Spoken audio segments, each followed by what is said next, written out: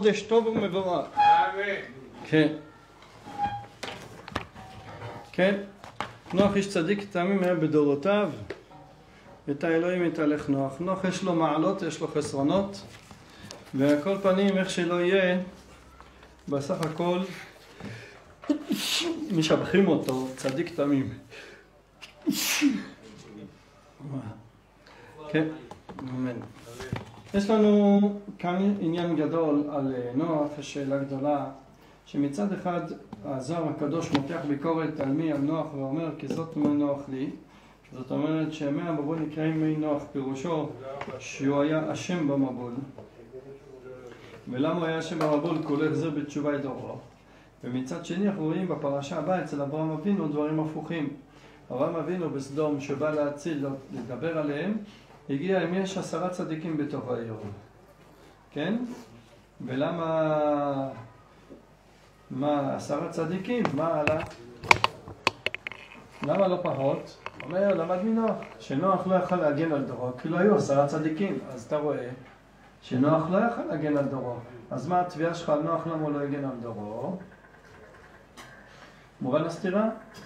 אומר הרב חידה בפירושו למסכת סופרים, יש לו ספר כיסא רחמים, והוא אומר פירוש נפלא, הוא אומר חידוש, שבאמת נוח יכל להציל את דורו גם פחות מעשרה אנשים. ואברהם אבינו טעה אחרי נוח. היה לו טעות. הוא חשב שנוח לא יכל, אבל באמת הוא יכל. ככה זה פירוש נפלא להגיד את זה, אבל זה ככה החידה אומר.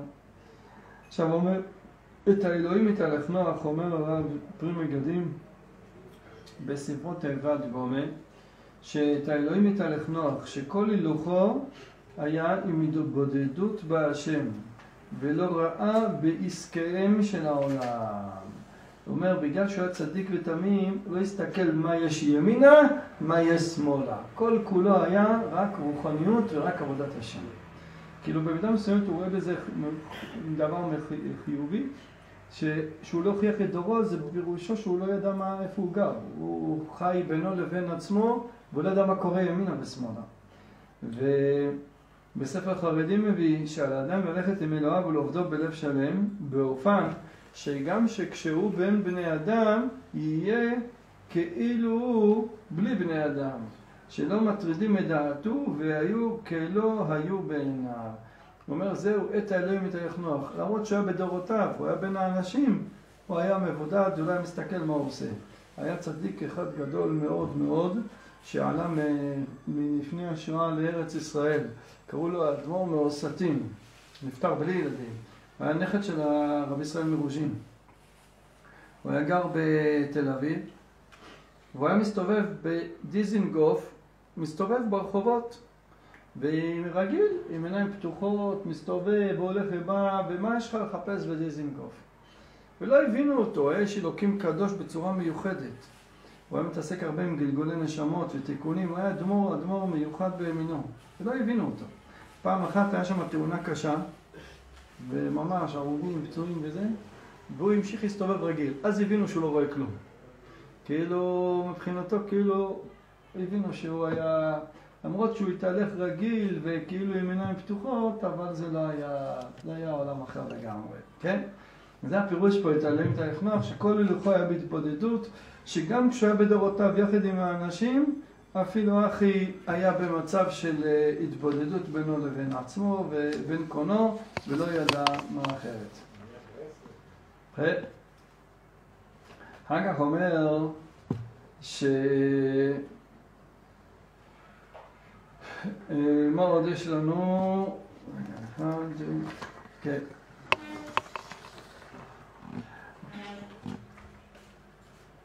עכשיו, התיבה היה נס ופלא בכל הבניין שלה, והבניין שלה נעשה גם כן באופן מיוחד, כמו שמביא הגר"א בשם רבי שמשון מאסטרופולי.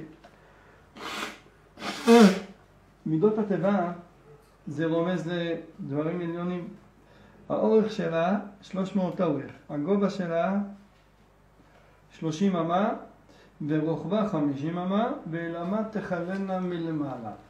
אומר, זה הפירוש, זה כנגד הסטרא אחרא.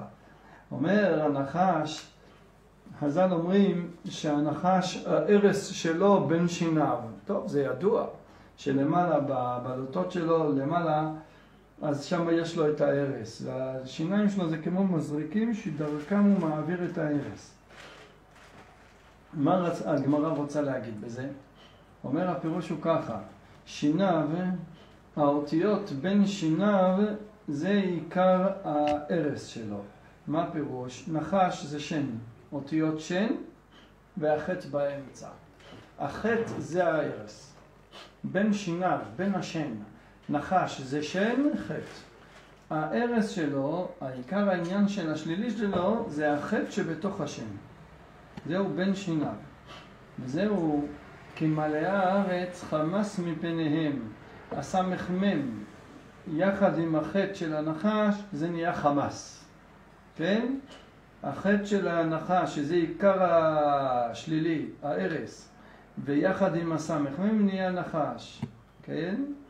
וזהו הסמ"ם. והאל, האל שיש לסמ"ם, זה מה הוא יונק מהקדושה. הסמ"ם, העיקר זה הסמ"ם. אחר כך, מה שאתה רואה אחר כך, זה מה הוא יונק מהקדושה, זה משהו אחר לגמרי, כן?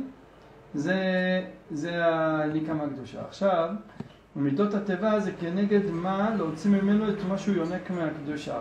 אז מה? אז מה יש לנו? על מה אל? על מה תכלנה מלמעלה? שלושים אמה גובה, זה אל, נכון? ומה נשאר לנו? נשאר לנו השן של הנחש, שזה גם לא סטרה, רק החטא שלו זה החסרון, אבל השן הוא בסדר, אז צריך גם את השן. מה זה השן? 300 אורך ו-50 רוחב. מובן? זה מידות התיבה, ככה רשום שם אסטרופולי אומר, מביא אותו הגאון מבינה, כן? עכשיו, התיבה הייתה אם כן בצירופים מסוימים, עוד שזה הסברים של צירופים שלו, איך שיהיה אה, זה היה נס ופלא, כמו שמביא פה הרמב"ן, שהתיבה הכילה באופן של נס כל מה שהיא הכילה. למה? אומר שאם תיקח רק לבני אדם כמה אוכל הם צריכים לשנה, זה שלוש טון וחצי מינימום. אדם אוכל נגיד קילו ביום, הכי פחות, כן? כל הארוחה של האדם ביממה קילו ביום, הכל, לחם והכל כולל הכל, כן? זה נגיד ככה ממוצע, אז בשנה אדם אוכל 365 קילו, כן? שכפול תשע בני אדם, אתה מגיע לשלוש וחצי טון. רק הבני אדם. הבהמות והחיות אוכלים הרבה יותר. תן לשור לאכול, תן... הם אוכלים... איך היה כן, פיל אריה. הגמרא אומרת שבאמת לאריה לא היה מה לתת לו אוכל. אוכל. האריה אוכל הרבה בשר בכמויות, ואיך תתן לו את מבוקשות. ולכן הגמרא אומרת מה עשה לו? עשה לו הקדוש כן. ברוך הוא קדחת. הוא חלה בחולי הקדחת למשך חצי שנה. הגמרא אומרת שאדם שחולה בקדחת, גם חיה, אז הוא לא רעב, הוא לא יכול לאכול, למה? החום מזין אותו. אישטיין זנטה, החום מזין. לכן אדם שיש לו חום הוא לא רעב. אז האריה חצי שנה חלה בחולי הקדחת כדי שלא ייראה, שיהיה אפשר ככה. זה לא אריה, זה אריה, זה לביאה, זה טיגרי, זה נמר, זה מה לא. פיל, פיל, כמה אוכל פיל? פיל זה. נכון. אז כל אלה קיבלו קדחת, כל החיות... לא, לא, הגמרא אומרת רק על אריה, כי אריה יש בו בעיה איתו עם ה... הוא אוכל יותר מכולם כנראה. אבל גם הם, הם גם אוכלים בשר, כל שניה הביאו להם עיל, כל שניה הביאו להם את הלב, מה? כן, היה בלאגן. מעניין. כן. אז זה היה נס. כל הקיום בתיבה היה נס שבאופן של אוכל קימה ונדבק במאה. זאת אומרת, גם הבני אדם לא קיבלו שלוש טון וחצי. אלא זה היה ברכה בתיבה. היה ברכה בתיבה, וזה היה שם שלמות כמו ימות המשיח שגר זאב עם כבש, שאחד לא טרף את השני ולא היה, חיו בשלמות, באחדות. הפורס סוכת שלמה עלינו, כן? זה היה הבחינה של תיבת נוח. טוב, אז טוב, ואז הוא מכין אותו מה? בשרים, בשרים לא הכניס. לא הכין? לא הכניס בשר. בשר לא היה. לא, מכל מאכל אשר יאכל, נוח היה אוכל שלו... צמחוני. צמחוני, כן. ממה שאתה אוכל, תכניס. כן, מי אמר לך את זה? ככה... אה, זה מובן טוב עכשיו. כי אם הוא מכניס בשר, כאילו יתקלקל עם הזמן, וקשה איך להכניס. ועוד, כתוב שלעתיד לבוא יש רב שלמה קלוגר בפרשת באר מביא שכתוב שם וגר זאב עם כבש ואיך כתוב שם ואריה יאכל תבן כבקר. אומר מה העניין? לעתיד לבוא אריה יפסיק, יהיה צמחוני, יפסיק לאכול בשר. אומר למה? הוא אומר כל מה שאריה אוכל בשר זה בשביל שהוא יהיה טורף עונש לבני אדם אי פעם. מה שמגיע להעניש, את מי צריך להעניש. ברגע שהם מגיעים לשלמות ואין צורך בעונשים יותר, האריה צמחוני לא יצטרך לאכול בשר יותר. חידוש גדול. אז זה אומר, וזהו, והגר זאב עם כבש, ואריה, מה יאכל? יאכל כמו בקר תבן. אז אם אני אומר שבתיבת נוח היה שלמות של ימות המשיח, אז מובן שהוא לא צריך לאכול בשר, היה צריך רק לאכול תבן. יפה מאוד. הרב אומרים שמהשאריות, רש"י אומר מהשאריות שהיה אוכל אה, נוח, היו אוכלים אחר כך. כן? כל פנים זה היה נס, כל הקיום... מהברכה שאוכל, מהשאריות היה. אתה רואה, קומה אחת הייתה זבל, תבין מה היה שם אז, מה כאילו, מה, זה היה משהו אגדי, נס, זה, כל זה היה נס ובמשך שנה שלמה זה לא יום ולא יומיים, וזה לא היה פשוט. עכשיו אומר פה הפסוק, וזה אשר תעשה אותה, כן, ואני הנני מביא את המבול מים על הארץ. רש"י אומר, ואני הנני, הנני מוכן להסכים עם אותם שזרזוני ועל לקרב, ואמרו לי, מה אנוש כי תזכרנו. מי אלה? המלאכים. מה עניינו? רש"י, למה מזכיר לי את זה? מה העניין? הגמרא, ברש"י יש לנו גמרא במסכת ביצה, בדף הראשון. הגמרא אומרת שלא שייך להגיד לשון הכנה, אלא רק על דבר מצווה, והכינו את אשר יבואו. לא שייך להגיד על ארוחה של המחול, הכנה, אני מכין. הכנה חייב להיות דווקא על דבר של uh, מצווה. והגמרא במסכת מגילה בדף ט"ז עמוד א' שואלת שיש סתירה. מצד אחד כתוב בנפול, מי שאל את זה? המן, את מרדכי. מצד אחד כתוב בנפול לאויבך אל תשמח. ומצד שני כתוב ואתה על במותימו תדרוך. אלא אומרת הגמרא, כאן בישראל, כאן באומות העולם. והזוהר הקדוש מחלק, כאן שיתמלא שעתן, כאן שלא יתמלא שעתן. למה? כי יש קושייה על זה, נגד הגמרא. איך הגמרא באה ומחלקת? כאן בישראל, כאן בגויים, זה, זה לא נגד. כידוע שתמיד לגוי חייבים לענות תשובה לא נכונה, כי אסור ללמד גוי תורה. לכן תמיד בחז"ל שואלים, לא, להם ענית, לנו מה תאמר, התלמידים, למה? כי לגוי צריך לענות תשובה לא נכונה. לצדוקים, לאפיקורסים, עונים להם אה, לא את האמת. למה? כי אסור ללמד תורה למי שלא הגון. אנחנו אחר כך אומרים את האמת. אז המן, מרדכי אמר להמן, יש הבדל בין ישראל לאומות העולם, אבל אליבא דאמת לא. שגם באומות העולם אסור לשמוח בעונש שלהם. למה? כי הגמרא אומרת אצל אה, פסח, למה אנחנו לא אומרים שירה בפסח? נכון, בסוכות אמרנו שירה, פסח אין שירה, למה? כל המועד. למה? מעשה ידי טובים בים, ואתם אומרים שירה? נכון, זה חסרון, זה לא מעלה שיש אפילו פורענות לגויים, זה חסרון. אפילו מצרים, רשעים, ומה לא יהיה, לא, זה חסרון, ולכן לא נתן הקדוש ברוך הוא להגיד שירה למי? למלאכי השרת. אבל ישראל כן אמרו שירה, למה? כי הם אומרים שירה על ה... ויהי לי לישועה, על הישועה שלנו אנחנו שמחים. לא שמחים על המפלה של מצרים, הם עשו ישועה לה... להצלתם. המצרים רצו לומר שירה על העצם, קריאת ים סוף, וטביעת המצרים, זה מעשה ידי טובים בהם, ואתם אומרים שירה. אז רואים שאפילו בגוי שייך שלא לשמוח, שהקדוש ברוך הוא לא שמח שמה, שהאויבים, אפילו האויבים של עם ישראל מתים ונהרגים, זה חסרון, זה חסרון בבריאה. אז ולכן לעתיד לבוא מה כתוב? והלכו גויים לעורך. לעתיד לבוא לא כל הגויים ימותו, לא, יהיה להם בירור ותיקון. זה חסרון שגויים מתים. אז אם ככה, למה, אם כן נשארת השאלה, מה זה בנפול לא יבחר תשמח? אומר הזוהר הקדוש, כאן במקום שיתמלא שעתן, כאן לא יתמלא שעתן. הביא את זה יפה מאוד אה, סבא במאור ישראל במסכת ברכות. מסכת ברכות בדף אה, ו' באזור שם, הוא העריך בזה הרבה.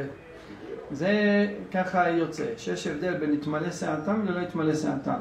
גוי שיתמלא שעתם, אז צריך לשמוח, אבל אם לא יתמלא שעתם, לא. אז אם כן, מה זה? איך?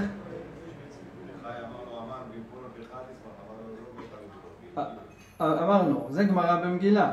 זהו ענה מרדכי לגוי, שהמן שואל אותו שאלה, לא עונה לו תשובה נכונה. אמר לו יש הבדל בין אויב ישראל לאויב גוי. זה ענה לו המן, מרדכי לאמן. אבל אליבא דאמת, כמו שאומר זוהר הקדוש, אם אתה רואה בקריאת ים סוף שגם בגוי לא צריך לשמוח. כן? מעשה טובים בהם, אומרים שירה, אלא ההסבר הוא, כאן שיתמלא שעתם, כאן לא יתמלא שעתם.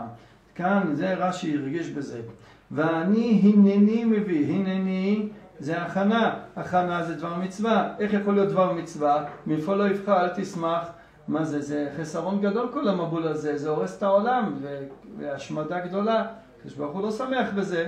אומר יתמלא שעתם. אם יתמלא שעתם, כמו שאומר זר הקדוש, זה מצווה ובעבוד רשעים רינה, זה מעלה גדולה, כן? ואם יש, יש לנו כלל, הצמח צדק מלובביץ' מביא בדרך מצוותיך, במצוות לא תבערו אש בכל משמעותיכם ביום השבת, שכל העניין של העונש שיש בעולם זה לא בא מהקדוש ברוך הוא, זה בא מהסטרא אחרא. הקדוש ברוך הוא ברא שכר ועונש מהקדושה עוז וחדווה במקומו. אין עניין שלילי. עונש זה לא בא מהקדושה. הקדוש ברוך הוא רוצה רק לעשות טוב לנבראים ורק שיהיה טוב. אין ראי אין ראי הוא נתן להם הוראה, הוא נתן להם הוראה, עם מצב כזה וכזה. ברור, ברור שעובדים דברים עם הוראות, אבל המצב הוא במצב של, של לא, זה לא מהקדושה, זה מהסטרא אחרא. מצד הקדושה זה רק טוב. לכן אומר, אם אדם רוצה, יש לו קנאות, והוא רוצה להעניש רשעים, זה, זה, זה שלילי, זה לא מהקדושה. האדם אף פעם לא צריך לחפש עונש למישהו, אלא תמיד לחפש את הטוב ושיהיה לשני רק טוב. אלא מה? העניין של הקנאות, כמו שנקרא לזה, שמחפשים להעניש רשעים, זה לא מהקדושה. זה בא מהסטרא אחרא, זה לא בא מהקדושה. קדושה אין שום דבר שלילי. הרב הסטרא אחרא מתגברת על בורא עולם? מקבלת מבורא עולם בטח? כאילו מתגברת על מה ש... לא, יש לו רשות, יש לו רשות. יש לו רשות לעשות את זה. כמו מס הכנסה ואלה, הוצאה לפועל, אתה מכיר אותם? כן? הכל במסגרת החוק. רגע, אם אנשים רוצים כמו דאעש וחיזבאללה וחמאס, אין לנו... אין. אה, מה לעשות. מה? רוצים שהם ימותו. כן, זה... אז אם, יבוא, המשיח, הוא יברר אותם. אין לנו עניין להעביד גויים, יש לנו עניין לתקן אותם. אין מה, לתקן אדם כזה. אה, אוקיי.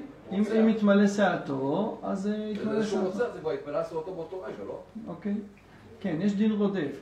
בוא נראה, ברוך אתה אדוני, אלוהינו מלך העולם, שם הכל נהיה בדברו. יהודי האיראני, שהם עושים עוול כל כך הרבה. מה, הנה, המצרים היו רוצחים. המצרים הרגו את התינוקות של ישראל והכל, זה לא התמלא שעתם. יש מצב כזה שאדם רשע ועדיין לא התמלא שעתו. עוד קראת טוב שהיינו גרים בארצם. וגם- כן, זה מעניין, נכון? זה הסתכלות. ולא, כי הם היו הכשרים שבהם. הרעים מתו כבר במכות. הטובים שבהם, הירא מעבדי פרעה מעבדי פרעה, הניס את עבדיו וכל השדה, והם נשארו, והם שרדפו אחרי עם ישראל. הכשרים שבהם, הם רדפו אחרי ישראל. בחור, כן. 600 רכב בחור, המובחרים שבהם, לכן זה נקרא שלא יתמלא שעתם. זה לא אלה שעשו את ההצהרות ליהודים, זה האחרים. אלה שעשו את הצהרות מתו כבר לא במכות. הם כבר קיבלו במכות. בסדר? מה? אה, זה מעניין. אה, כן, רשב"י, רשב"י אה, היה מסוכן מאוד. גמרא, מה יש לנו גמרא בסוף מסכת אה, מעילה, כן? מי זה היה החכם הזה? רבי יוסי. פחד לשלוח את הבן שלו. למה? שרשב"י לא יהרוג אותו. רבי יוסי, כן? מאבא שלו, של רבי יוסי שכח לשלוח, פחד לשלוח אותו, למה? אומר, הוא בחור צעיר והוא יורה הלכה בפני רבו ויהרוג אותו, ובאמת, בלי כוונה, הוא שאל איזה שאלה, מאיפה נלמד, והוא לא ידע, רשב"י לא ידע, ורבי יוסי ידע, והוא אמר לו, אמר לו, אה, איזה יופי שאני יודע, אבל עכשיו אתה הורית הלכה בפני רבך, והוא התחיל, הגמרא אומרת למות, מהשכיב מהרה הלך למות, ואז נזכר רשב"י שהוא נשבע לאבא שלו, שלא יקרה לו כלום, אז הוא התפלל עליו ונהיה בריא בחזרה. רבי שמעון היה בקו הגבורה. אז איך להסתכל על זה? אז אה, זה, מה- מה זה, מה זה הגדר של? זה, מה? להורות, אה, אה, אה, כפשוטו. ממש כפשוטו, ואני עומד ליד איזה חכם או רב, שלי אולי, ומישהו שואל שאלה והוא לא יודע לענות, ואני אומר, תשמע, אולי זה ככה? צריך רשות מערב, כן. בלי זה אסור לענות. הוא צריך לשמוח שאני עכשיו לימדתי אותו את ההלכה. אתה רואה? והגמרא אומרת, רבי שמעון אמר, איך הגמרא במעילה אומרת? אומרת הגמרא, מאיפה לומדים את זה? רבי שמעון אמר, לומדים את זה מכאן. אומרת הגמרא, ממי הוא למד את זה? מרבי יוסי רבי שמעון למד את זה. והוא למד את זה ממנו, רשב"י לא ידע. למד את זה מרבי יוסי והורג אותו. זה קפדה שקורית לבד, זה לא שהוא הורג אנשים. זה קפדה שקורית לבד, בזה שזה כאילו... הוא צריך לשמוח שבזכותו כן. רשב"י היה מקו הגבורה מאוד חזק, שמעון, כן? וזה היה מסוכן להתקרב אליו, זה היה כזה... זה לא להיזהר, כן. ההלכה. שהוא לא. הוא צריך לבקש רשות, הוא צריך לבקש רשות, לבקש רשות. הוא היה פזיז ולא ביקש רשות. הוא היה צריך לבקש רשות, כשרות על מותר. בטח, לומדים, שהם תלמידי יותר מכולם, למה לא? רשב"י מחפש לדעת. כמו שמואל עם אלי הכהן. כן, שמואל אלי הכהן, גם כן. הוא אומר, הכל טוב ויפה, ואתה צודק, אבל היה צריך לבקש רשות, יש סדרים לכל דבר. לא פשוט, אה? ועל זה חנה התפלל אל הנער הזה התפללתי, בזכות התפילה היא הצילה אותו. כן. ניצל, כן, לא פשוט. טוב, יש לנו גם כן, יש גמרא בערכים בדף ט"ו אומרת ש... אה, ישראל שבמדבר, למה לא נכנסו לארץ? בגלל שהתמלא שעתם. אז זאת אומרת, מה פירוש התמלא שעתם? זאת אומרת שלא נכנסו לארץ בגלל חטא המרגלים, אלא זה היה כבר הצטברות של כל החטאים. המרגלים זה היה קש ששבר את גב הגמל. העיקר היה שהתמלא שעתן. אצל דור המדבר התמלא שעתן. שברגע שנתמלא שעתן זה מצב שאין מה לעשות יותר. הגמרא אומרת בראש השנה, ישראל פקיד דין היו, אומות העולם לא פקיד דין היו. יהודי עושה עבירה הכי קטנה, עונש. גוי, הוא לא תועבה, והוא מקבל עונש. איך זה יכול להיות? הוא אומר כאן, פקיד דינאי כד לא פקיד דינאי. זה גם הבדל בין דתי לחילוני. זה גם הבדל. אדם שומר תורה ומצוות ללא שומר תורה ומצוות.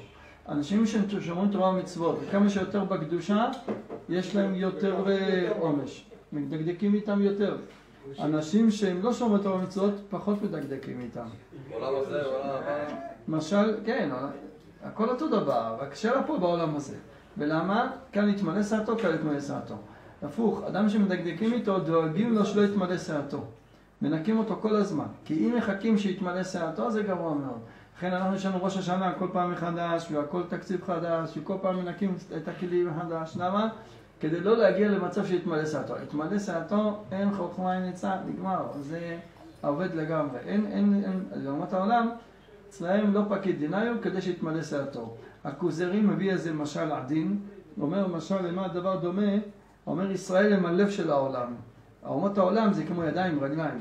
אומרת, אתה נותן מכה חזקה עם איזה קרש במקל על היד או רגל, מקסימום נהיה שבר, אולי לא.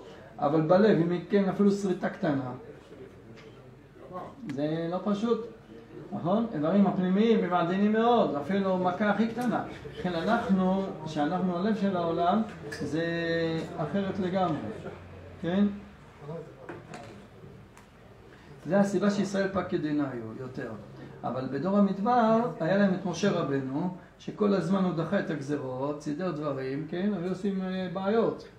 כל בעיה, במקום לקבל עונש, משה רבנו מסדר את זה. מסדר מסדר, התמלא שעתה. לא יכול להיכנס לארץ. אם לא, זה, זה, יש מצב כזה, זה למשל ידוע עם שלמה המלך, עם אותו אחד שלימד אותו את שפת החיות. אז אמר לו, יישרף לו הבית, מכרת בית, הבהמות שלו ימותו, מכרת בהמות, שחט אותם. בסוף נגזר עליו למות, אבל התחמק, התחמק, מה יצא בסוף? התמלא שעתו. לגבי העניין של המן, זה היה בגלל אה, שלו מדבר, ואם הם לא היו חוטאים, המן היה נמשך לכל הזמן? מי? המן, המן. אמן למה? תמיד היה אמן, לא מבין מה אתה מדבר. אה, מה שהם התלוננו? מה? אם לא היו חוטאים, המן היה ממשיך כל לא הזמן. אמן, לא דיברתי על אמן, אמרתי למה נכנסו לארץ. לא, אני רק אמרתי לגבי אמן? למה יש לאמן? הם, אה, זה? בגלל שהם היו במדבר? כן. אם הם לא היו במדבר, אז אה, לא היה מן. בשביל מה צריך מן? רק הגיעו לארץ, הפסיק. איפה אין להם זרעים שם עוד חטאים לבד? חטאים יכולים להיות קשה במדבר. מה? התלוננו על השם. כל הזמן. אמונות, כן. השם יעזור. כן, כל דבר עם ההסברים שלו, בעיתו ובזמנו, אנחנו מדברים ככה מלמעלה. מה? טוב. עכשיו, אז זהו, אז הוא אומר לו שאני, והקים אותי את ביתי איתך ואתה תבוא עם כל האנשים שלך. ואז ויעש נוח אומר ככה, ואז מה אומר? מכל החי, שניים מכל, שניים מכל תביא, ואחר כך מהבהמה טהורה שבעה ושבעה. אז אומר ככה הפסוק, מכל הבהמה טהורה תיקח לך שבעה שבעה איש ואשתו.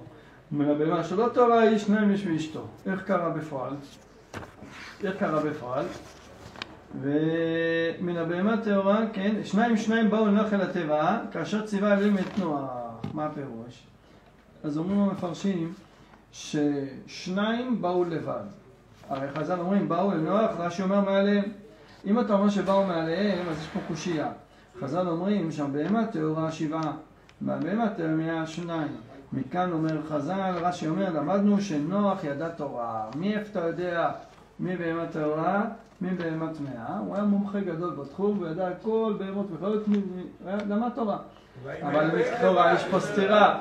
אבל יש פה סתירה, אומר באו לנוח מעליהם לבד, הרמב"ן, הרמב"ן מתרץ, הרמב"ן על התורה מתרץ, השניים באו לבד, אבל החמש הוא הביא, מתוך השבעה, את החמש הוא הביא, שניים שניים באו לנוח על התיבה, כולם באו שניים, גם הטהורים וגם הטמאים שניים, זוגות הגיעו כולם, החמש הנוספים הוא היה צריך להביא לבד, מהבהמה טהורה שבעה.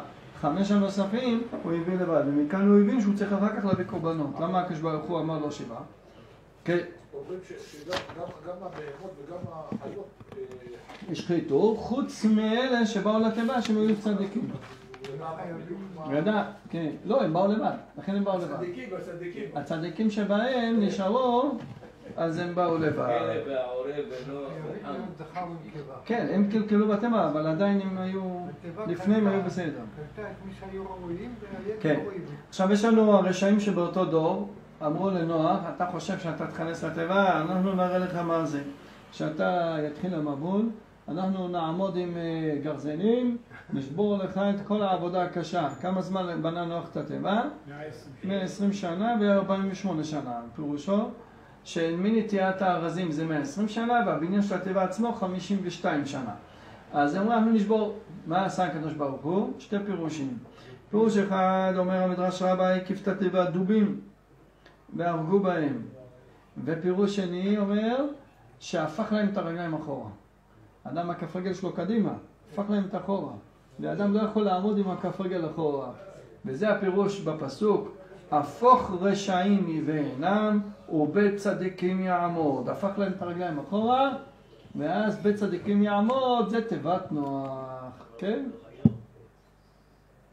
אדם חטאו, מה הבהמות אז, אז ככה, למה הם השחיתו? הכל, הכל יש לי, אפילו, אפילו האדמה, הבנתי שגם למה? האדמה למה? השחיתה, למה? אפילו האדמה השחיתה, גם יש זאת הם- זה, הם היו, זאת זה. הם הזדווגו אחד שלו במינו. אבל למה? החיים לא מסתפקים לו בימינם. כן, אני אסביר, אני אסביר, אני אסביר. לא מסתפקים. הנה הרב יסביר לך.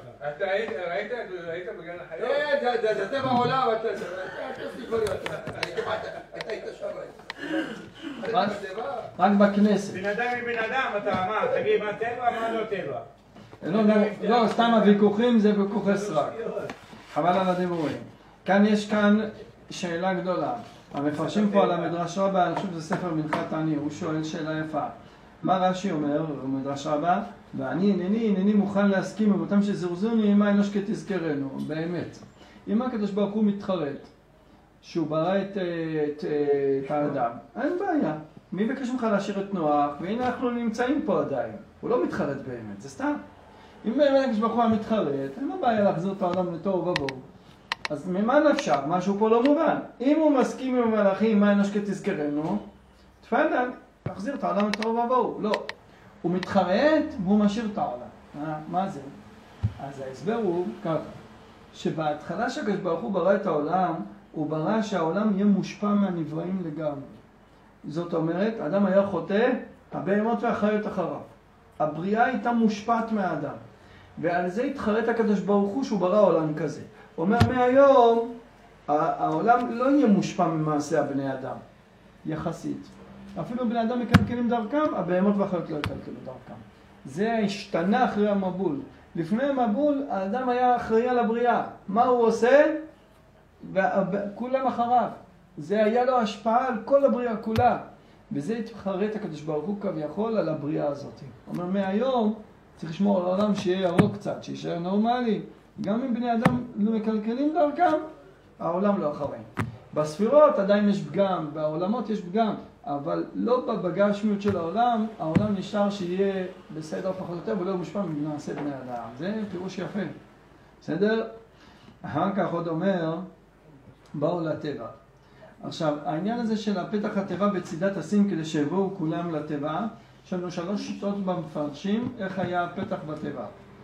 האבן עזרא אומר שהפתח היה למעלה. אומר אם הפתח היה בתיבה למטה, המים היו פורצים את הדלת, זה לא היה עומד בלחץ המים האדיר שהיה שם. אומר אם עשית דלת, זה חייב להיות רק למעלה דלת. אז אומר איך הם עלו לתיבה? אומר עלו עם סולם. סולם. ככה הוא אומר, זה מוזר. מה סולם? בהמות וחיות עם סולם? אלא הכוונה שהוא עשה כבש. כבש שכולם עלו לתיבה מהקומה השלישית. מהקומה השלישית נכנסו לתיבה. זה שיטת האבן עזרא. החזקוני אומר, לא, סליחה, טעיתי. האבן עזרא אומר מלמעלה היה הפתח. הדלת הייתה בגג. מלמעלה. החזקוני אומר, מקומה שלישית, רש"י מפורש, קומה ראשונה. והקדוש ברוך הוא סגר עליו את הדלת, כאילו היה שם איזה סגירה טובה. אה? כן, זה לא פשוט. זה היה לחץ מים עצום. זה יותר סביר שזה למעלה. כן, אבל קשה להכניס בהמות וחיות מלמעלה. שהאוויר של העולם הוא מורעל. כן, נגמר האוויר, לא היה אוויר. כלומר, כל מי שהיה לו נשמת חיים, הוא חוץ מדגים היה. דגים נשארו. מסביב לתיבה, כי המים רותחים. למה? היה מים רותחים, כי הם לא חטאו בצדר. הדגים הם... הם, הם לא הושפעו מחטא האדם ולא חטאו. למה? זה השאלה למה? אה, הדגים לא חטאו הדת, ככה מובן, זה אריכות גדולה, יש בזה נועם אלימלך, קדושת לוי ושלח, שהמים, הדגים לא חטאו הדעת, בבריאה, הם לא, ולא על הקללה של אה, חטא עץ הדעת. אני הבנתי שהם ירדו לקרקעית, בקרקעית היה לא. אה, כן, זה יכול להיות, אבל אומרים שמסביב לתיבה היה מים קרים. אם היה מסביב, אה, זהו, אז אנחנו צריכים לדעת ללמוד. ככה, ארץ לא גושמה ביום זעם. זה מדרש רבה בפרשת תקן. הגמרא אומרת, שהמדרש אומר, רב שמואל בר נחמני הלך יחד עם צדוקי בעגלה, והם עברו ליד הר גריזים, וזה ההר של הצדוקים שם, שם שומרונים. ואז אמר לו, אתה רואה את ההר שלנו? זה משהו משהו. הוא אומר, משהו משהו משהו. אומר, זה לא ירד המבול על ההר הזה. אומר לו, כן, סיפורי סבתא. אומר איך תוכיח לו עכשיו? תדבר איתו עם השטויות שלו. הוא אומר לך, פה לא ירד מבול. ואתה לענות לו, כאילו, מה אני אענה לשטויות שלו? אמר לו אבהם, מי זה אבהם? מוליך את העגלה, עגלון, רבי שמואל, תן לי לענות לו. הוא אומר לו, בבקשה. אומר לו, תגיד לי, הר גריזים זה תחת השמיים או מעל השמיים? אומר לו, מתחת השמיים. אומר, כתוב בפסוק, וחסו כל ראשי הערים אשר תחת כל השמיים. מה אתה מספר סיפורים? פה לא ירד מבול. הוא אומר, לא, אז קרא עליו, לא יהיה בך עקר ועקרה ובבהמתך. אל תקרא ובבהמתך, אלא בבעמים שלך. אפילו הבעמים, המוליך העגלה, עגלון, יהודי, יודע ללמוד תורה. אפילו מה יודעים, לא לך עקר עקר, יודעים לענות תשובות, כן? לפעמים אנשים פשוטים יודעים יותר טוב לענות מהחכמים. להתעסק עם טיפש צריך להיות ברמה שלו קצת. אדם חכם לא יודע להתעסק איתם. זה גמרא בעבודה זרה דפי, רבי אברוך, היה לו מומחיות להתעסק עם הצדוקים. לא יודע, יש שם שאלה בתנ"ך, להבין, לא יודע לענות להם לפי השכל שלהם. וגמרא מספרת שהיה רבי אברוך, אומר להם, היזהרו ברב אמנונה. רב אמנונה סבא. תיזהרו ממנו, איש קדוש. אנחנו שאלו איתו איזה פשט בפסוק בתנ"ך, הוא לא ידע לענות להם. למה? הוא צריך לענות להם לפי השכל שלהם, הוא לא ידע. ואז הם התחילו לצחוק עליו, אה, הוא לא יודע תנ"ך, זה לא יודע, כן? ואז רבי אברהם אמר להם, אמרתי לכם, תיזהרו בו. הוא אומר, מה? תנ"ך הוא לא יודע, מה אתה מספר לנו? אמר להם, לא, הוא לא יודע לענות לכם, אני אענה לכם, אבל לא מעלתו גדולה. יש דבר כזה. דע מה שתשיב לאפיקורו זה מומחיות, זה לא פשוט, כל, כל אחד יודע לעשות את זה. אם לא יודעים לענות לו, כדאי לו להתנצח איתו. Hmm? אם לא יודעים לענות לו ברמה שלו, כדאי לא להתנצח איתו, לא לדבר איתו. כן, זה מה דע מה שתשיב. מעשה שהיה כך היה. יש שו"ת רבי חיים הכהן רב רפורט. הוא היה, שתיים, יש את הסבא שלו, הוא היה גדול. אני חושב שהשר שלו מבלז משהו, ממנו, הנכד שלו או משהו. יש קשר שמה. הוא היה איש אלוקים קדוש בצורה מיוחדת, ואז היה את קאפ שבתאי צבי. קאפ שבתאי צבי התאסלמו 30 אלף אה, יהודים או 50, אני זוכר, והם היו אה, מזנבים חזק בעם ישראל, חזק. היו הולכים לאומות העולם, והם, והם הם היו יודעים ללמוד, כן? והם היו מוכיחים מהתלמוד ומכל המקומות כמה אנחנו באמת שונאים אותם וכמה באמת עם ישראל נגדם. מה שאומות העולם לא ידעו, הם הצליחו לעשות. ואז היו עושים, אה, המלך היה מארגן ככה שיהיה ויכוחים, כמו, כמו שהיה עם הנוצרים, כמו עם הרמב"ן, היה עם הקראים. וזה היה סיפור עם האלה השבתאים, והיה סיפור איך להתמודד איתם, כי הם באמת ידעו גמרות, לך תסביר. ידועים. ואז שלחו את רבי כהן נחיים מהכהן רפפורט שהוא ילך להתמודד איתם. הוא לבש תכריכים, קיטל הוא לבש, וצם והלך אליהם. כל מה שהם שאלו, ענה להם בסייעתא דשמיא, הכל כמו שאומרים, לשכל שלהם. פרח אותם אחד לאחד.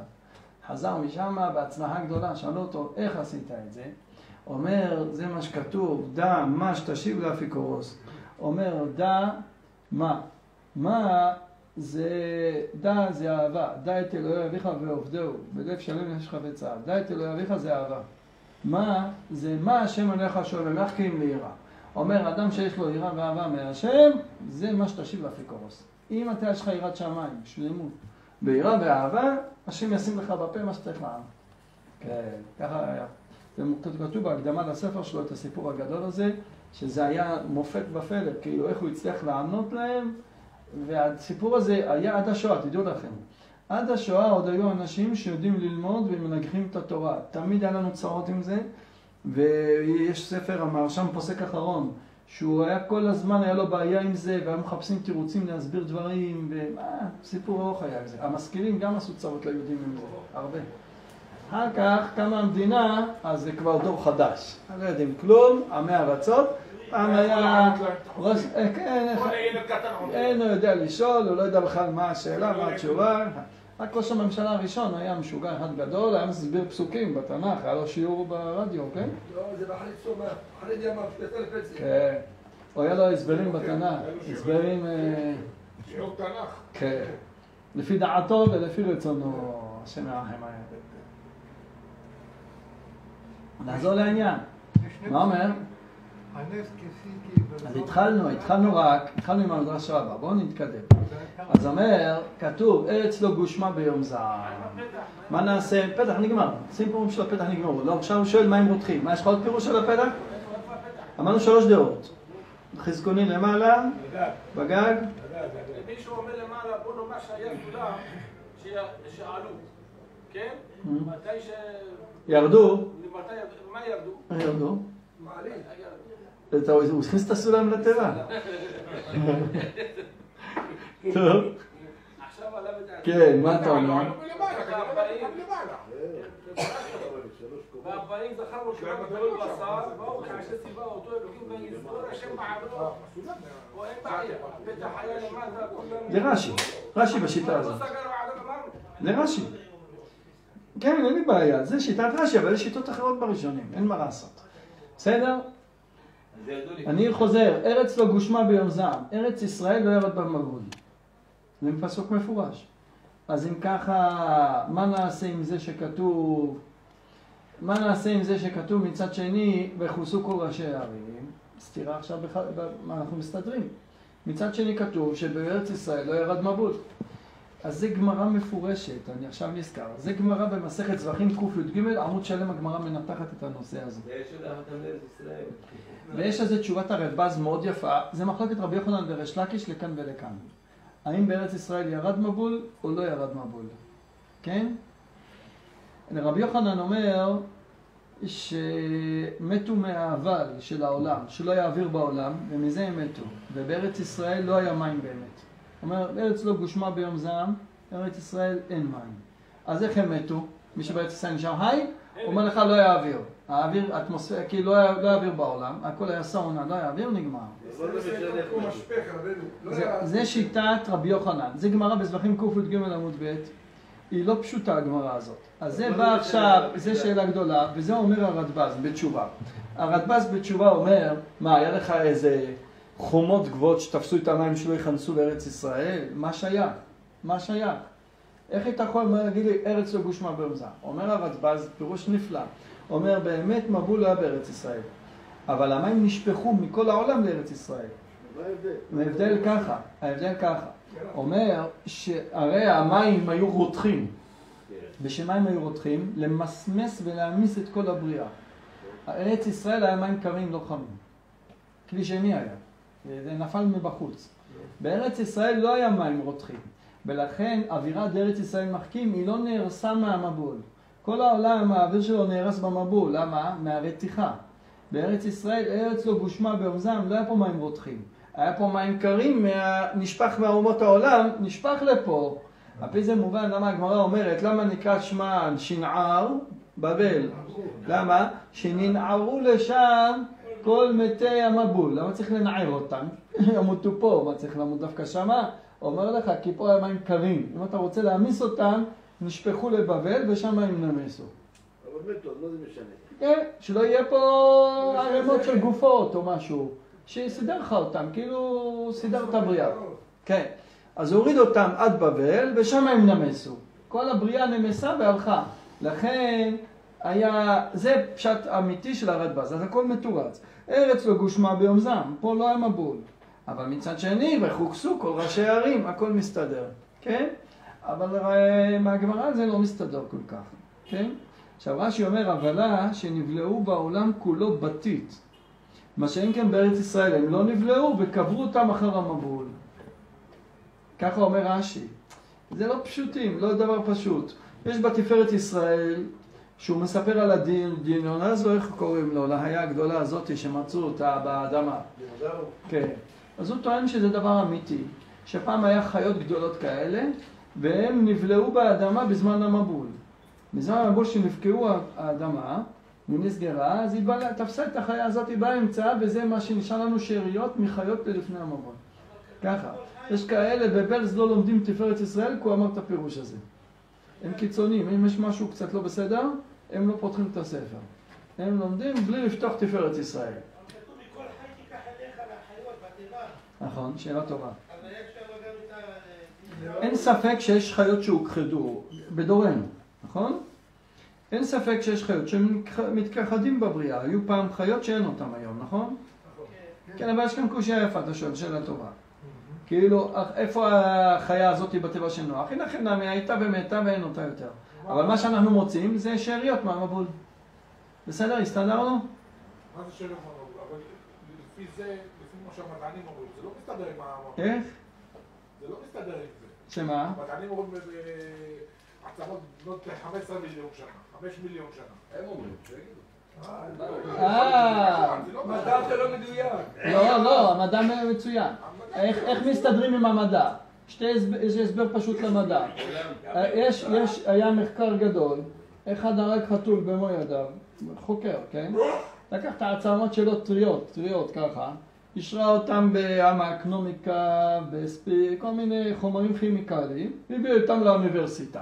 כמה זמן העצם הזאת שווה? נראית יבשה ככה וזה. אמרו לו, 500 שנה, 1,000 שנה, הוא אומר להם כמה דקות זה היה חי. למה? שמת לו חומרים, זה משנה. המ- המדע טועה במחקר שלו, כי המבול בעולם באמצע. המבול היה חומרים כימיקליים שהעמיסו את הבריאה. קח את זה בחשבון, זה מעלה לך את הרמה של, ה, של החיים של הבריאה. כאילו, הבריאה עברה מבול. אם אתה יודע לשער את המבול שהיא עברה, אז אתה, אתה לא יכול כבר לשער את העולם. משהו ישתנה פה, אתה לא יודע לחשב אותו. במובן? זה הסבר אחד. עוד הסבר, הרי הם סופרים את העצים, את העיגולים של העצים. אין היום עץ יותר מארבע מיליון שנה. כן, יש משהו, יש עץ אה, ותיק בעולם, כן. יש אה, אה, העיגולים האלה, מה המספר העיגולים האלה? אומר לך, העיגולים האלה, הקדוש, טהור, באות, כן. ה- אומר, העולם נברא על מילואו. האדם הראשון איך נברא? לא כמו תינוק, וכמו בגיל 20, עם שיניים.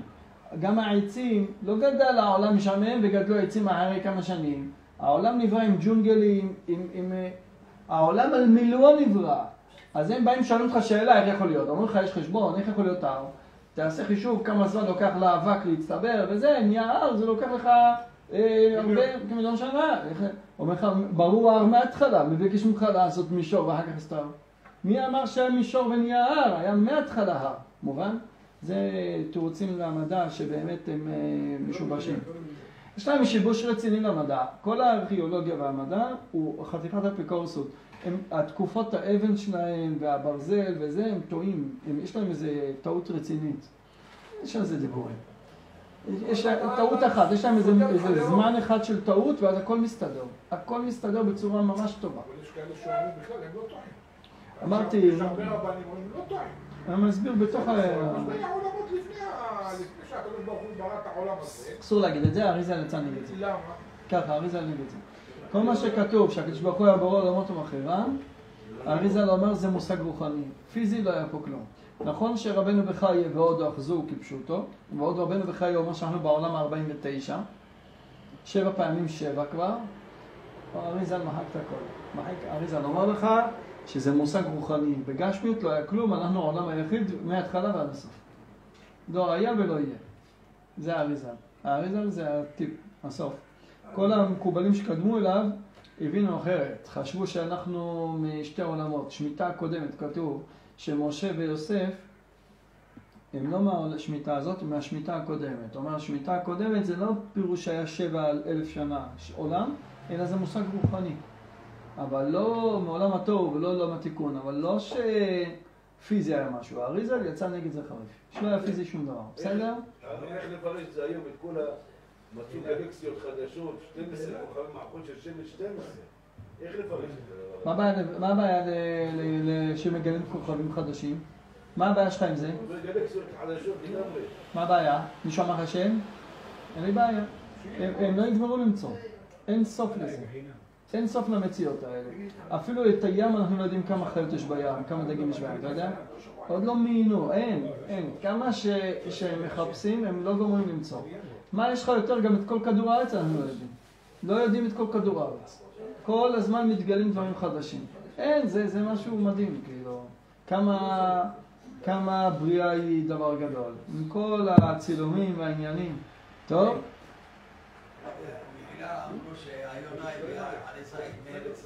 רגע, רגע, דיברנו על הדגים, אני מסיים נושא, דיברנו על הדגים.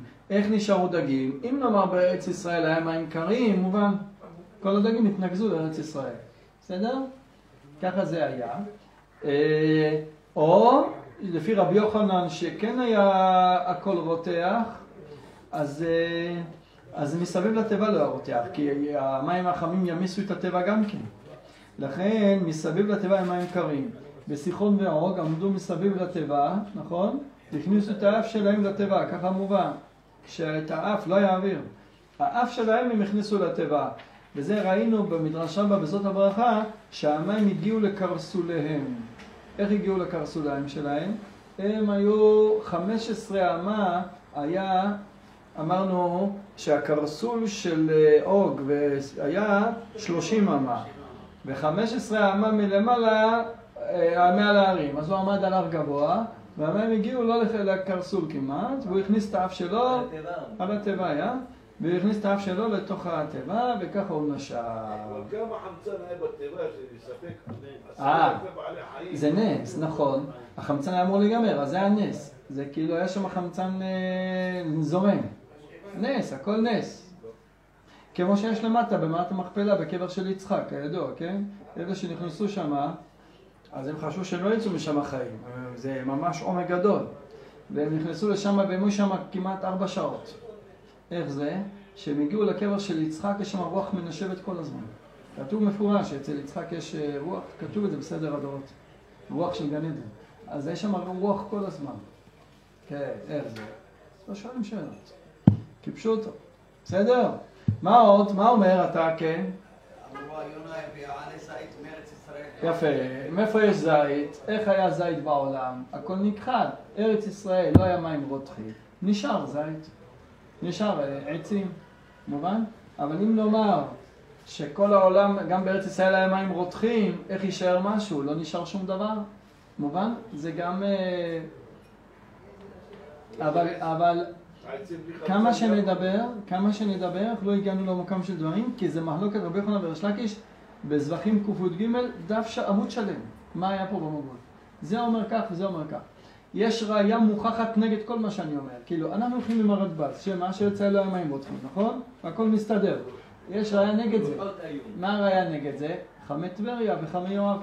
הגמרא אומרת בשבת ל"ט, למה היה חמי טבריה וחמי יואב? זה שאריות מהמבול. הנה ראייה שמים רותחים היו בארץ ישראל. הנה ראייה נגד הרדב"ז. מה הרדב"ז אמר לי? שבארץ ישראל לא היה מים רותחים, נכון? הנה ראייה שכן. בקיצור, אתה לא יוצא ראש מאה אחוז פה בסיפור. אין פה דברים ברורים. שזה עובר דרך גיהינם, זה נקרא. כן, אבל הוא אומר שזה גיהינום גיהינום, אבל איך גיהינום הגיע לפה? זה שאריות מהמבול. זה שאריות מהמבול. ומשם, כאילו, המבול הוציא מים רותחים, לבה מהאדמה, הוציא מים רותחים מהאדמה. רואים שגם בארץ ישראל היה מים רותחים. אולי רק בטבריה? יודע. ארץ ישראל, כמו שכבודו אמר לפני כן, זה משפך היה, משפך. אין לי בעיה, אבל... נתרכזו המים, אז למה היה מים? אז לא היה מים מה רותחים. שבדרכם שטפו אותו. אין לי בעיה, אז איך היה מים רותחים בארץ ישראל? זה השאלה. מי אומר להם. יבוא משיח נבין מה קרה פה, זה ממש אה, סוגיה. אבל הפשרה שעושה פה הרדב"ז היא מאוד מסתברת, עדיין יש לנו קצת שאלות. בסדר? זהו. עכשיו הבעל התניא אומר פה, למה היה צריך הקדוש ברוך הוא לעבוד קשה? 40 יום מבול, אה, זה עבודה קשה, כאילו מה, כל המערכת הבריאה וזה, מה בשביל הקדוש ברוך הוא, כמו כלום, כמו עשה בסדום. איך עשה בסדום? כלום, צ'יק צ'אק הופך אותם, בורא חדש, מה הבעיה? גם פה יכול לעשות להם את זה בצ'יק. אלא אומר, היות שהם זיהמו את העולם, מתימו את העולם, צריך לתאר אותו מחדש. כדי להתחיל שיהיה העולם חדש, נקי, צריך היה לתאר אותו. לכן היה 40 יום מבול כנגד 40 סאה, כדי לתאר את העולם על ידי מים. היה כאן טהרת המערכת, כאילו לתאר את כל, האהבה, את כל הרוע שהיה פה. אז העולם ההוא, העולם ההוא היה מושפע מהאנשים והוא נהיה טמא מאוד. העולם הפיזי, הגשמיות, הפך להיות טמא, העפר. צריך לתאר את הכל מחדש על ידי המבול של השנה שלמה, זה כל מה שעבר פה, לתאר את העולם כדי שנתחיל עבודה חדשה. לנקות שטח. לכן היה צריך את כל העבודה הקשה הזאת. ככה בעל התניא מבין. מה? אבל זאת ש- מחילה מכבודו, כן. עפר לרגליו. כן. אבל זו תשובה מלמעלה, מה הקדוש ברוך הוא יכול לעשות את זה בשנייה אחת. אה, לתאר את העולם בשנייה. אחת. אולי אה. ללמד- אולי ללמד אותנו משהו, זה יכול להיות. נוח לא אולי. ללמד אותנו משהו, זה יכול להיות. מה? נוח לא עושה. טוב, הכל יכול, אבל הקדוש ברוך הוא יש לו סדרים לטהרה, יש כללים בעולם לטהרה, מספר 40, 40 שאה, 40, זה מושג אה, רוחני גבוה. אותנו. מים זה מתאר. הקדוש ברוך הוא יכול להגיד לך תהיה טהור ואל תהיה טמא אף פעם, אין לו בעיה. אז הקדוש ברוך הוא ברא בבריאה את הכללים. אז אחרי שיש בריאה וזה הכללים, צריך לתאר אותו עם מים. מה החשבון של 40 סבא 40? הוא אומר 40 יום זה כמו 40 שאה, המושג 40. איך, איך? נו, מה. יש, יש אה, 40 שאה, זה תת חסלובים. 960 לא. תת-קס, כן. 960 לא. ב-40 יום כפול 24 יש 960 שעות. זה כנגד זה. 40 שאה כנגד תת חסלובי שבמקווה. יפה מאוד. זה אה. מתאר את העולם. 40 יום יש תת-קס אה, שעות? תת חס שעות. 40 כפול 24 יוצא 960. יש תת מה? חסלוגים ב... יפה מאוד. כן. יאללה. ואז אה, זהו, הקדוש ברוך הוא וימח את כל היקום, ואז לא נשאר זכר מ... ויסחרו, כן? ואז אחרי 40 יום הפסיקו, ואז ותנח התיבה בחודש השביעי בשבעה עשר חודש הררת, מחלוקת בגמרא, אם זה היה חשוון, כמו כפשוטו, י"ז בחשוון, או שזה ביום, אה, באייר, י"ז באייר. והמים היה הלוך וחסור, כן, ואין מקץ ארבעים יום, ויפתח נוח את חלון התיבה, ואשלח את העורב. העץ יעצב יבוש את המים מעל הארץ. מה העניין של העורב הזה שנוח התחיל איתו? ובאה, הגמרא בסנהדרין, שלא ידענו דיון. לאט לאט לאט לאט. גמרא בסנהדרין, בדף קח עמוד ב' אומרת, וישלח את העורב. אמר יש לקיש, תשובה ניצחת ישיבו עורב לנוח. אמר לו, רבך שונאני ואתה גם שונא אותי. רבך שונא אותי, מי זה הקדוש ברוך הוא? שמן הטהורים שבעה שבעה, ומן הטהורים שניים. אומר, מה האפליות האלה? אפליות, מה לעשות? ואתה סנתמי, שאתה מלך ממין שבעה ושולח ממין שניים. אם פוגע בישר חמה או צינה, לא נמצא העולם חסר בריאה אחת.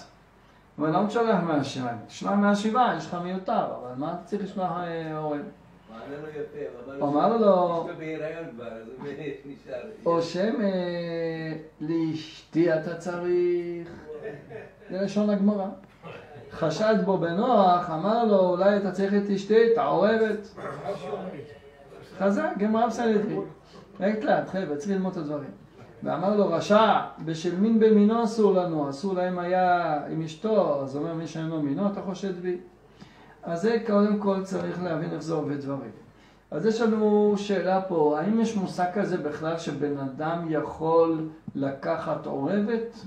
יש מושג כזה בכלל? מה הוא חושד בו? שהוא יתחתן נוח עם עורבת? כאילו, מה הקטע הזה? יש מושג כזה בבריאה? כן. יש משנה בזבחים, מפורש, בעופות שאסורים להיקרב על גבי המזבח, רובע ונרבע, מפורש כתוב, שיש דבר כזה שאדם יכול לרבוע עוף ויהיה פסול למזבח. זה כאילו כתוב בתיאוריה. יש משנה כזאת. יכול להיות שזה לא היה ולא נברא, אבל משנה כזאת קיימת. בספר סמיכת חכמים פה הוא מסביר את זה יפה. הוא אומר, לא הפירוש שהוא חשד שנוח יתחתן עם עורבת, זה לא מה שחסר לו. אלא מה, הוא חשד בו שהוא שונא את העורב, ואחרי שהוא ישלח את העורב, הוא ייקח את העורבת וירביע אותה מין שאינו מינו, ואז יכחד מין העורב מהעולם. זה הפירוש. או שמן לאשתי אתה צריך להרביע מי שאינו מינו. וזה הוא אומר לו, רשע, אסור לנו מין במינו, אתה חושד בי במין שאינו מינו. לא מין שאינו מינו שנוח יתחתן עם עורבת, אלא שהוא ייקח את העורבת למישהו אחר. בסדר? מובן? זה פירוש אה, אמיתי. אז אה, עכשיו... בן קול, הרי הוא קלקל את מי אמר לך את ההיריון הזה? פעם ראשונה שומע בכם את זה. אני שמעתי את זה. שבוע שמעתי. מה? מי נכנס להיריון בתיבה? היו בהיריון בתיבה? לא, הרי הרי הוא קלקל. אה, הוא קלקל, כן, אז בהיריון. מילא- אה, אחרי שהוא קלקל, כן. אה, טוב. זה כתוב שם על כל החיות, מה? כל החיות והבהמות שבאו, באו לנוח אל התיבה. לא רצו בג'ונגלים להביא את ה... אמרנו, באו לבד. היית? באו לבד. עכשיו איך זה, עכשיו הוא אומר שעצם זה נוכחותו של נוח בתיבה, השרתה עליהם אווירה של לא טורפים. נכון? כן. היה שם כמו לא ימות טורפים, המשיח. לא לא עושים בה... הגיעו לשלמות של איך ימות המשיח. כן, איך הגיע עכשיו העורב למחשבה כזו? אה, איך הוא הגיע למחשבה כזו? עורב זה הוא ספרה. נבחר מבורא עולם, איך זה יכול להיות? הוא היה בטומאה כזאת גבוהה שכמה שהורידו אותו מהטומאה הוא נשאר. זה נכון, מה ההורה בכלל יודע לדבר? שפת חיות, למה? למה לא? שפת חיות, לא חיות. בטח. מה השאלה שהוא היה לו את החוכמה הזאת? מה? אה. לתומנו. טוב. אבא אומר- אומר בטח, למה בטח? האדם הראשון ידע, מה פתאום שהוא... אתה רואה? כי הגמרא אומרת שהוא דיבר איתו. כן. הגמרא אומרת שהוא דיבר איתו, אז אתה רואה שכן, לא צריך הרבה לזה. בסדר, עכשיו יש שתי דעות שמענו, יש דעה אחת שאומרת שכל החיות היו בתיבת נוח מפוזרים, האריות, הנמרים, התרנגולים, כולם מפוזרים. נכון, ולא. טרפו אחד את השני. כן, השאלה, צד אחד כתוב קינים תעשו את התיבה, קינים? צד שני כתוב קינים תעשו קינים, את מה. זה? מדורים, מדורים מדורים. מדורים. כן, אבל אבל בצד שני אתה אומרים ש, שלא היה להם את הרצון, אפילו האריות היו אוכלים אה, ירק, לא היו אה, טורפים, לא... נכון, דיברנו על זה, היינו. כן. האם קלטת? נמשיך. דיברנו על זה באריכות, לא נורא. בשלח את אחר עכשיו אנחנו צריכים לדעת מה הוא שלח את העורב. כאן יש כאן שאלה גדולה. את היונה הוא שלח לראות הקלוע המים מעל הארץ. וברגע שהיא חזרה והיא מראה לו שלא, הוא מכניס אותו חזרה לתיבה. את העורב הוא מוציא ולא מחזיר. ולכן אמר לו, אתה שונא אותי. כאילו, מה? הוא זרק אותו מהתיבה. כן? זרק אותו מהתיבה, וזהו. ושלח את העורב, ויצא יצא ושוב תשוב במים, הוא לא קיבל אותו חזרה. הוא כל הזמן היה וחזר לתיבה ולא הכניס אותו לתיבה. הוא זרק אותו. אה? הוא עשה סיבובים. הוא שנא אותו. למה הוא עשה את זה? האור הקדוש מדבר בזה וגם החתם סופר ומסבירים את העניין. אומר, אה, אומר ככה, אומר אם את העורב הוא שלח לראות אם הכלו המים על הארץ, אפשר צריך לשלוח את היונה, וכשהיא חוזרת אליו הוא מקבל אותה חזרה. משמע שאת העורב הוא שולח בכל מצב, גם אם ייגמרו המים, לא ייגמרו המים, הוא לא מקבל את העורב חזרה, אין על מה לדבר. ולא היה לו סימן מהעורב אם באמת נגמרו המים או לא, בשביל זה צריך לשלוח את היונה, נכון? העורב לא היה אינדיקציה בכלל, כי הוא שלח אותו בשנאה, ובאופן ברור שהמים לא נגמרו, והוא שלח אותו. והיה לו עניין לשלוח אותו, וזו השאלה מה העניין שהיה לנוח לזרוק אותו מהטבע. אז אומר האור חיים הקדוש, כמו שהגמרא בסנהדרין אומרת, כי העורב- שימש בטבע, ולכן ידע את זה נוח, אז הוא זרק את החוטא מהטבע. אומר לו, אתה עשית אחת, עשית מעשים מגונים פה, תסתלק מפה. לכן הוא גירש אותו. זה השליחות של היונה, של העורב, היה שנאה, כאילו, זה מה שאומר לו, רבך שונא לי וגם אתה שונא אותי. כאילו, היה פה איזה סוג שנאה בגלל עונש על מה שהוא עשה, הוא לא רצה שהוא זה יישאר שהבן בטבע. שלו גם כן עשה בטבע, הוא לא- הוא לא זרק את הבן שלו. אוקיי, הבן שלו לא זרק. בסדר, בתיבה, לא זרק. אוקיי, שומע. זה בן שלו. זה? דברים ידועים. הרב, אז למה את חם השאיר? הוא צדיק. נכון, עכשיו הוא שואל, זרוק את חם מהטבע. הוא בנה ברבים. אם היה זורק את חם מהטבע היינו מרוויחים הרבה. הוא קילל- כל השחורים אה, לא היו בעולם. לא היה שחורים בעולם. קילל את כנען, נכון, ההוא כנען. הוא היה הרביעי, והרי הוא- מה רצה אה, חם לעשות? למנוע את הבן הרביעי מ- מנוח. אז הוא גם... כן. אז אומר, אז זה אומר ככה, אז הוא אומר, ושלח את העורב, הוא לא רצה ללכת, אלא יצא ושוב, מזה עדיין נוח, לא, מזה נוח לא ידע, ידע שעדיין יש מים, אבל לא ידע אם כלו או לא. אין ראיה מהעורב, כי הוא לא הלך לשום שליחות, הוא כל הזמן נשאר מסביב לטבע, לכן הוא שלח את ה... זה. אומר, הרב, כלב לא שימש? מה זה? כלב. גם כלב, נכון. למה כלב? תראה, את העורב הוא זרק לא להרוג אותו, בוא נסכם. את העורב הוא זרק, הוא יכל לשרוד בחוץ. הוא נשאר בחוץ ו- והוא חי.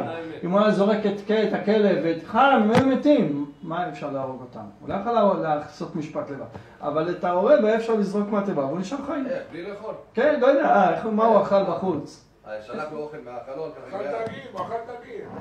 העורב אכל דגים. כלב גם מקולל, אכל דגים, או. כן, כולם. מהנקבה. מעניין, כן, בסדר. כן, איך- איך אה, עוג מלך הבשן חי? אבל השם אמר לו קבל אותו, לא? אכל דגים. מה? השם אמר לקבל אותו. אה, את האורן? אה, נמס. איך? השם אמר לקבל אותו. עתיד לבוא, עתיד שאביא, כן?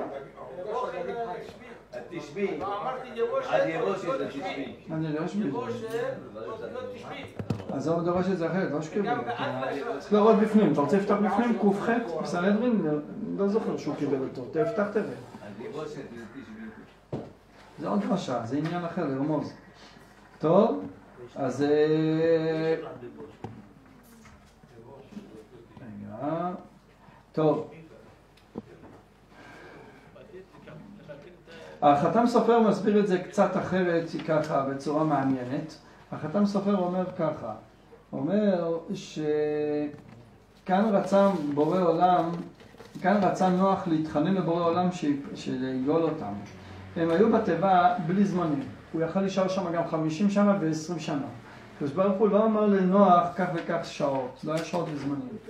הם נמצאים שם בלי גבול של זמן ונמאס לו, הוא עובד קשה והוא רצה לעורר רחמי שמיים. מה זה לבד? אתה רוצה תעבור רגע? תפתח תראה, תעבור רגע פה אתה. אז הוא אומר, נוח רצה לעורר רחמי שמיים בשביל, לכן שלח את העורב. למה? כמו שכתוב אצל אליהו, זהו, עד יבושת תשבי.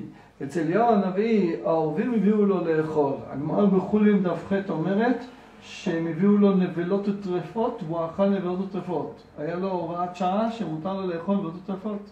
זה גמרא בחולין. כן? ו... וממילא העורבים, למה דווקא שלח לאליהו הנביא עורבים? הוא אמר לו שהוא שלח לו שהוא כמו העורבים, שלא מרחמים על הילדים שלהם. וזה מהגמרא, ב- נכון? העורב לא מרחם על הילדים שלו. אני ביררתי את זה, איך זה עובד? ביררתי. אז זה עובד ככה, העורב מוליד תשע אה, גוזלים בבת אחת, והוא לא מפרסם, לא מפרנס אותם, והולך. והם מתחילים למות בשלבים. מי שורד? שורד. מי שלא שורד מת. מי שמת ראשון, האחים שלו אוכלים אותו. ככה זה עובד, וככה הם חיים. נשארים מתוך תשע איזה כמה אחדים, וזה ככה עובד. חזקים ושורדים. כן. כמו שמהצבא שלהם יוצא יתושים ויום. גם, אז זה לא בדיוק ככה, אני ביררתי את זה. גם חלק מתים, וזה גם חלק מהתפריט, וככה הם שורדים. כן. לבני עורב אשר כן, יקראו, יפה מאוד. אז רצה משה, הקדוש ברוך הוא שלח את העורבים לאליהו, שאליהו הנביא געזר שלא יטלו מטר. והמצב אכזרי פה בארץ ישראל, ככה, לא נעים מה שהוא עשה, קרא לו אחאב עוכר ישראל. לא נעים. לכן שלח לו את העורבים. וזה גם הגמרא בבבא בתרא, דף ח', פרנסני ככלב וכעורב, נכון? שכמו הם, שהם אה, אכזרי, עורבים אכזרים על בניהם. אומר אותו דבר גם פה, רצה נוח לעורר רחמי שמיים. שלח את העורב בחוץ בשביל הקדוש ברוך הוא, לא בשבילו. שלח לו את העורב, שירחם עליהם. עורב זה סימן לרחמים. כמו שעורב נשלח לתשביל, לאליהו, ככה אומר החתם סופר, העורב נשלח לרחמים. והוא רצה לעורר רחמים לפני בורא עולם, שיצאו מהתיבה. זה כבודו יודע, אלה ההורים, בצבא משתמשים בהם, יש להם אינטליגנציה מאוד גבוהה. כן? ולוקחים אותם, מבייתים אותם על מישהו, על החיזבאללה הם עושים את זה. מבייתים אותו על מישהו עם מצלמה, הוא לא היה- לא היה עוזב אותו. לא היה עוזב, מתביית עליו, כל תנועה של החיזבאללה הוא היה קולט. אני יום אחד בבית, אני ראיתי בעצמי, הלכתי ברחוב, פתאום אני שמעתי פח, אני מסתכל, אני רואה אגוז שבור. מה היה? היה אגוז עורב, אני רואה אותו על העמוד, חשמל עמד, הוא ראה שלא יכול לשבור אותו בשיניים את האגוז, הוא עלה על, ה, על ה, העמוד חשמל, על החוט, וזרק אותו למטה שישבר וככה אכל אותו. משהו... לא, אבל יא. דברים שגם הזיכרון שלהם מאוד חד. כן? הם יכולים לזכור אפילו אחרי כמה שנים. אחרי כמה שנים. כתוב מפורש בחיי אדם, שמי שלא מכבד את ההורים שלו, מנקרים לו את העיניים האהובים. והוא מספר שהוא ראה את זה, כן, חיי אדם, זה כתוב, זה פסוק, כן? זה כן. כן, אז החיי אדם מספר את זה, שזה המעשה שהיה, ואחרי מותו, אחרי מותו הגיעו אורבים ונקרו לו את העיניים. והייתה איזו תוכנית עכשיו אה, כן. בטלוויזיה. עיר בארץ, שחוטפים אותם שם ערבים. שמה? כן. למה? כי פעם זה ידוע. עליהם אבנים או משהו כזה, והם זוכר את הבן אדם. כן, יש איזה מקום בארץ שיש תקיפות שלהם. מה יש לך לומר על דבר הכי מעניין? שעל בית משפט העליון יש כל הזמן אורבים. זה דבר מדהים. רק יונים. רק יונים. בכותל יונים, בבית משפט העליון, שיא הסטרחה שבבריאה, אורבים. זה משהו מדהים. זה לא בדיחה, זה אמיתי. כנסת גם. אבל ראיתי בספר סגולות אלפים, כתוב, אלפים. אם יש עצירת גשמים וזה בדוק ומנוסה, יחפשו מקום של קן קן של העורבים וישפכו עליהם מים, וירדו גשמים. מעניין. כן. זה מעורר רחמים. העורב מעורר רחמים. זה נלמד מתשבי. וזה הדיענוג, מה עם הגמרא? לא כתוב, אמרתי לך, זהו, אל תגיד לי. הוא לא החזיר אותו לטבע. לא החזיר אותו לטבע. תשבי, יבושת, תשבי, זה גם, זה מה שהחתם הסופר אומר, זה לרמוז רחמים. כמו אצל תשבי, זה עורר העורר רחמים, גם פה זה עורר רחמים. לעורר רחמים אצל בורא עולם עליהם. הם סבלו שם, ולא היה גבול, כאילו. אם הוא היה יודע שזה שנה, הוא נרגע, הוא יודע, אני רק פה שנה, שופר ספירה לאחור. הוא היה שם בלי גבול של זמן, זה לא, לא פשוט, כן? זה בית סוהר. אז העולג יצא לגמרי? העורב יצא ולא החזיר אותו. מה- זה? המשכיות- המשכיות של? אה, מי שאומר שאם היה בהיריון זה אור החיים הקדוש. האור החיים אומר את זה. שכבר היות שהוא אמר לו, תפגע בשרך, הוא אמר לו כן, בגלל שכבר היא נכנסה להיריון ממך, נגמר. הוא לא. לא צריכים אותך. והוא לא מת בסוף, אז זה בסדר, הסתדרנו. לא, היה סיכון. כאילו, איך אתה יודע שהוא לא ימות? סיכון היה פה. לא, המבול- המבול הפסיק באותו רגע, רק מים היה. כן. בטח, הוא היה על הטבע. היה סיכון פה, פה הסתדר, אבל היה סיכון. טוב, וזהו. יש כאן, אה, ולא מצא יונה מלאך כף רגליו ותשוב אליו. זה סימן, הרמב"ן מביא את זה בקללות, שעם ישראל גם כן, שלא ימצאו מנוח, ואז הם יחזרו לארץ ישראל. אם עם ישראל היו מסתדרים בגלות, והיה טוב להם בגלות, לא היו חוזרים לארץ ישראל. זה חלק מהברכה, שלא יהיה לנו מנוח באף מקום בעולם, עד שאנחנו נחזור בחזרה לארץ ישראל, כן? גם הפיזור על כן. ואחר כך אומר, ואז הקדוש ברוך הוא אמר לנוח, צא מהתיבה, ואז הוא יצא, כן? ומה נוח עשה? ואז הוא עשה הקריב קורבן, ואז הקדוש ברוך הוא אמר, ויאמר השם אל ליבו, לא אוסיף עוד לקלל עוד את האדמה בעבור האדם. מה הסיבה שאני לא אקלל את האדם יותר, ואני לא אעשה מבול בעולם יותר? לא יהיה השחתה כזאת בעולם. למה? כי, מה הסיבה? כי יצר לב האדם רע מנעוריו. הסיבה שיצר לב האדם רע מנעוריו זה סיבה לעונש, לקטרוג, או סיבה לחסד, להבנה, לרחמים? להבנה. אותו דבר כתוב בפרשת בראשית, בגלל זה בא המבול. אותו מילים. מה כתוב שמה?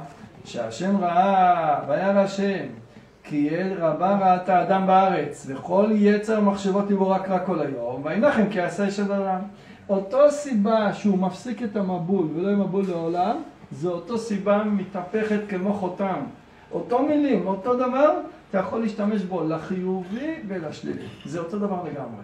רק תלוי איך אתה מסתכל על ההיבט. יצר לב האדם רע מנעוריו. השאלה איך להסתכל על זה. האם להגיד, או זה יהיה שלילי, או להגיד חיובי, או מה תתחשב, זה המצב.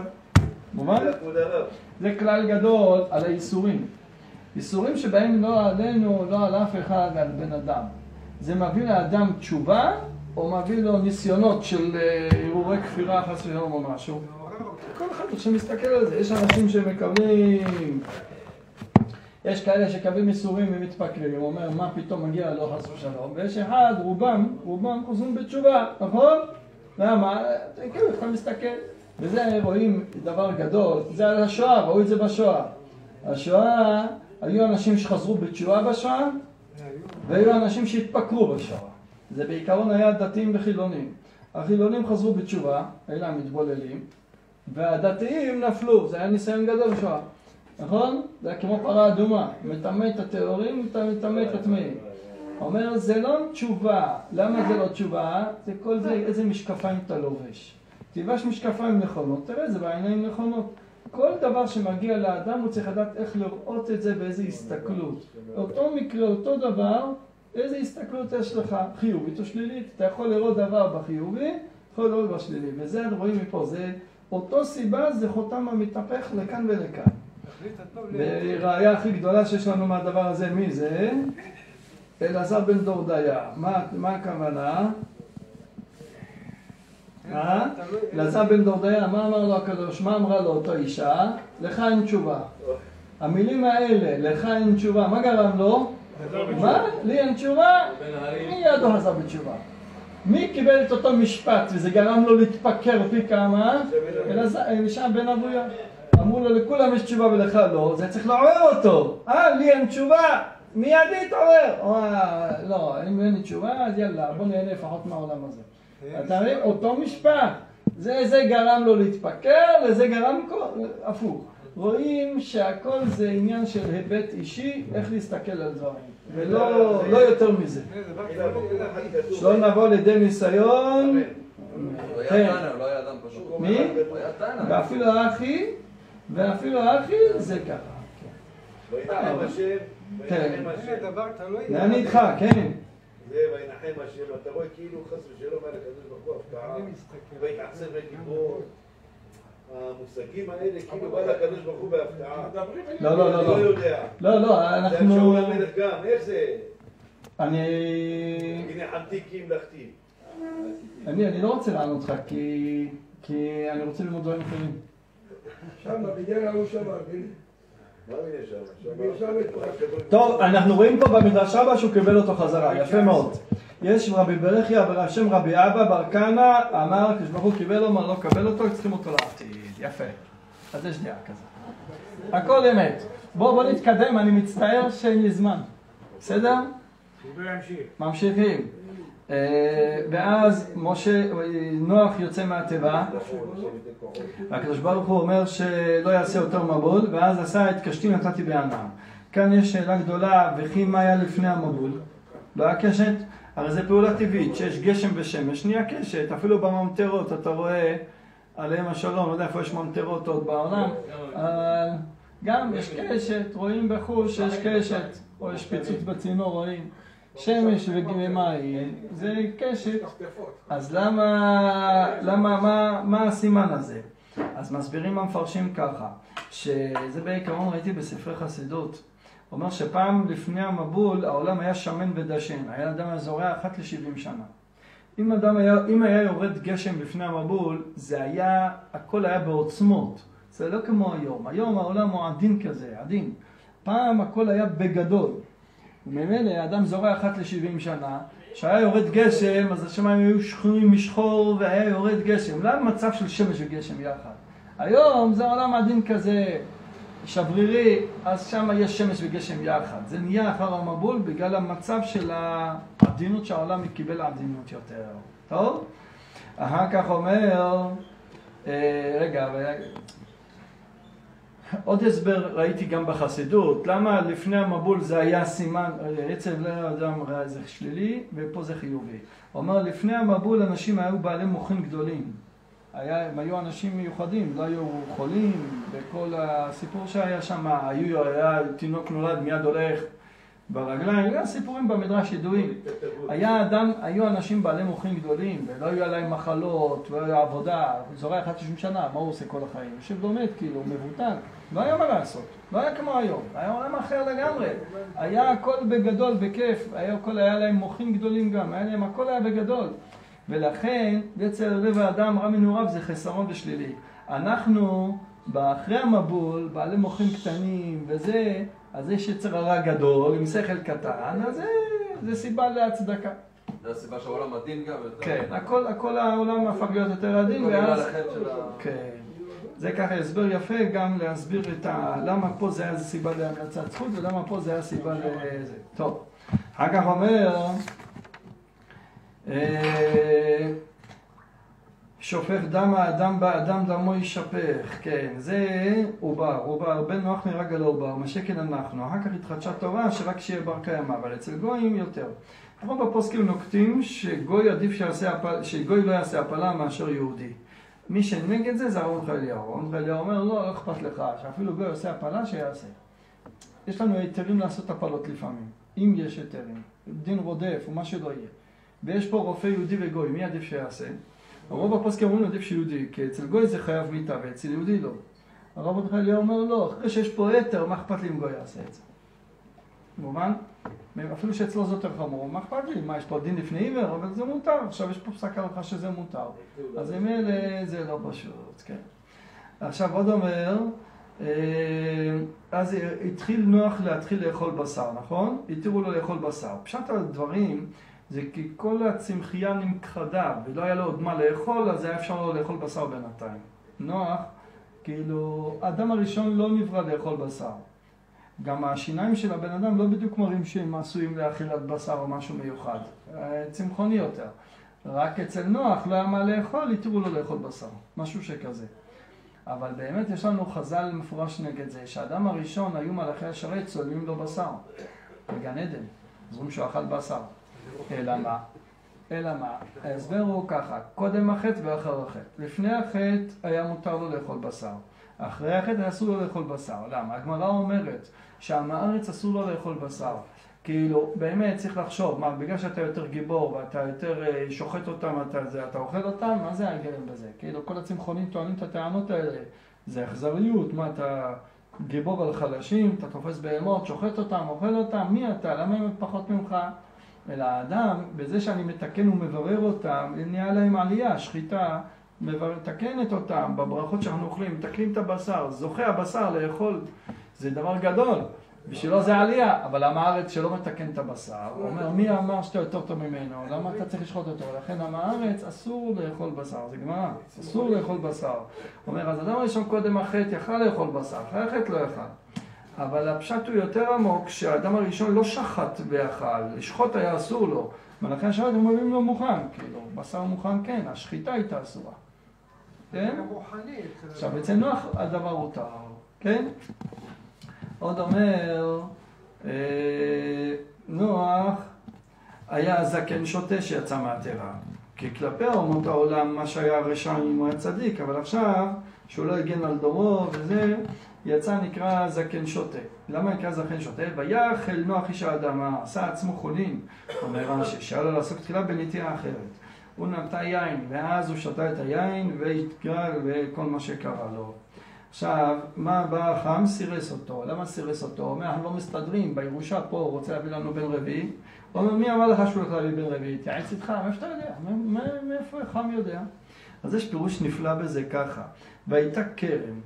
כרם, הגמרא במסכת בבא בתרא, כן, במוכרת הספינה, כרם, שתיים כנגד שתיים ואחד יוצא זנב. כרם לא נקרא רק חמש גפנים. ובאופן שהם עשויים שתיים כנגד שתיים ואחד באמצע זנב, או שש, אבל פחות מזה זה לא כרם. אז אם אומרים לך שהוא נטע כרם, הוא נטע חמש גפנים. הפסוק אומר, איש תחת גפנו ותחת תאנתו. כל כרם מתאים לאדם אחד. הוא אומר, למה הוא נטע חמש? אנחנו ארבע, מה נטוע חמש? כנראה הוא מתכנן עוד ילד. הלך וסירס אותו, מובן?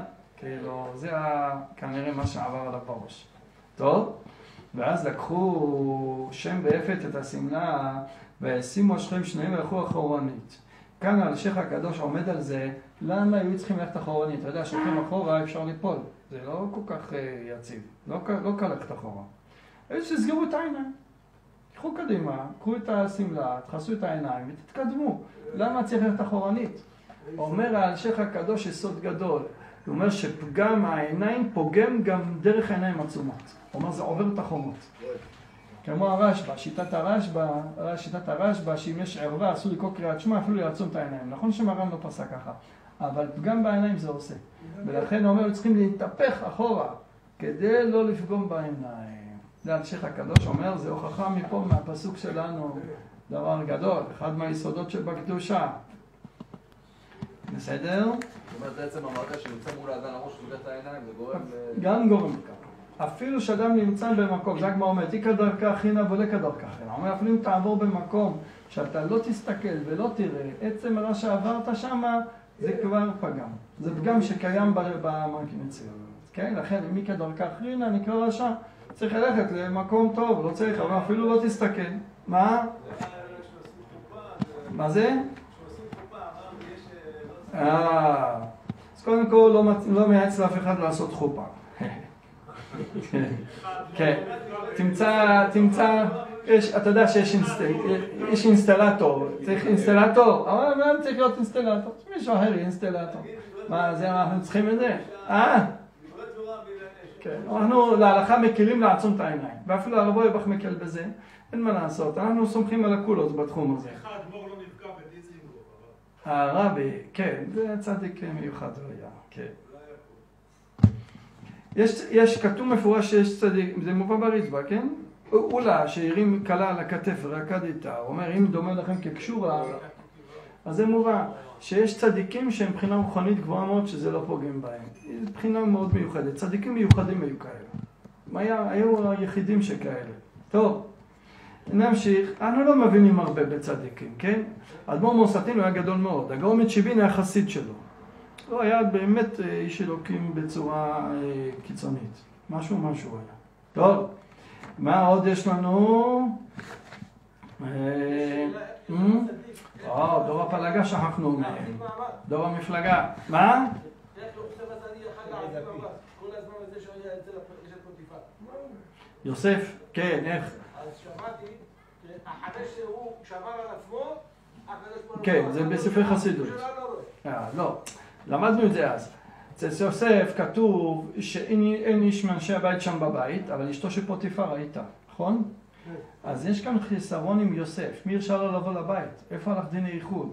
הוא הפיל את עצמו, היה לו חיסרון ב- במצב שהוא... הפתוחה. מי הרשה לו? עוד דלת פתוחה, אבל אתה יודע שיש לך פה ניסיון. בסדר, דלת פתוחה. זה לא חיים רגילים. חיים רגילים הוא חדל פתוחה. בעל בעיר. בעל הבעיר, כן. זה לא תלוי בו, הוא אשם? או היה לו דין ייחוד פה, יש לך ניסיון, אתה רואה אין אף אחד פה, מה אתה מכניס את עצמך לספק, כאילו, היה לו חיסרון. ככה מובא שאלה כזאת במפרשים. אחד מתלמידי הבעל שם טוב, הוא מביא את השאלה הזאת, אני לא זוכר איזה ספר, והוא מתרץ תירוץ נפלא. הוא אומר, הרי היא ניסתה אותו בניסיונות אין ספור, כמו שכתוב במדרש. עשתה לו את הרצפה המרות, שהוא יסתכל על הרצפה גם יראה. וגם שמה לו בצוואר ברזלים, בכל הכיוונים הוא היה חייב לראות אותה. מה עשה הקדוש ברוך הוא? שהקדוש ברוך הוא לא מביא לאדם ניסיון שלא יכול לעמוד בו.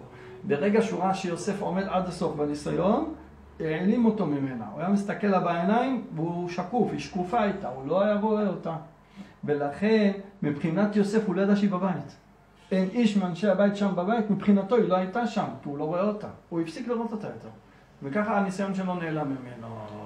למרות- העשר הטיפות זה עובדה שכן. לא, אחר כך שבא הניסיון זה ניסיון, היא תפסה אותו למה ואז הוא... למה כשהיה את הניסיון הוא כבר ראה אותה. ככה צריך למה לומר. בזה ברור למה לא נתן לו לעמוד בזה? כאילו, הוא נתן, אם אה, זה היה לו חסרון בזה? בייחוד זו ידיו. זה חסרון? הוא לא נענש על זה, ולא ראינו שזה חסרון, הוא הפסיד עשר ילדים. נכון, זה פעולה פיזית, אבל אה, הפוך, זה היה לו... לא ראינו שיוסף היה לו חיסרון זה לא בניסיון. חסר, כאילו, לא... היה זה לא לו... משהו, 12 שבטים, הוא היה יכול להיות גם 12 שבטים.